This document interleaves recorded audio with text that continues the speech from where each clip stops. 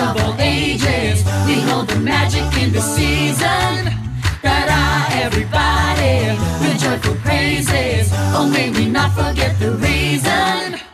Christmas is for the children, no matter how small or how tall.